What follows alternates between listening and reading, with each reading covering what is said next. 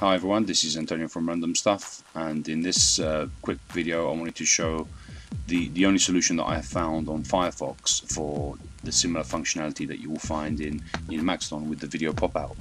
So if you go to a video on uh, Maxthon, uh, this is the behavior that you'll know of, you just sort of hover over the top and you'll see these two buttons come up.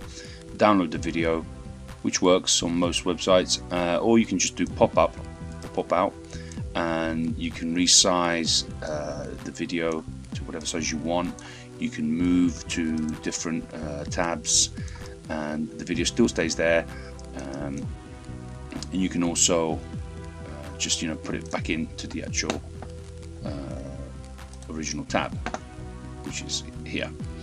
So let me do that again. I just pop out and then pop it back in again.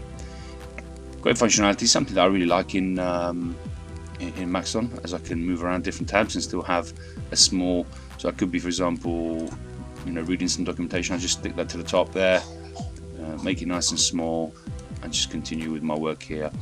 So that's really cool. The the only thing that I found you know so far that does this in um, in Firefox uh, if you go to the add-ons manager and you search for pop video which is this one down here I'll just search it.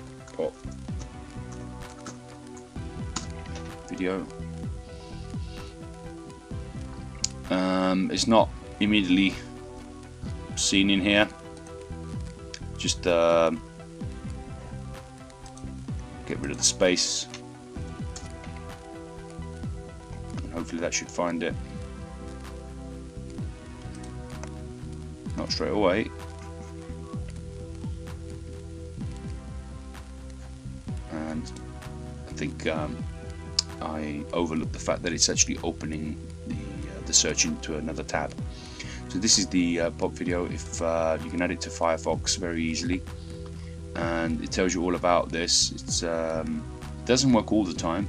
Uh, it's not as good as uh, the the one or the the same the same sort of feature that you have on Maxthon. But to show you how it works, if I have a video, you have this little blue button there. That you can click on, and it opens a new window um, if I move to another tab, it hides it below it. But you can see the video is playing there. You know, I can resize it, so that's pretty similar, and I can hear it. It does become a little bit laggy sometimes. If you hover right up here, you can see some functions, some settings that you can change or modify. You know, like the color of the toolbar, um, and there's um, other other small things that you can do. Um, you can then click on this, and it effectively this puts it back into the uh, the, the tab.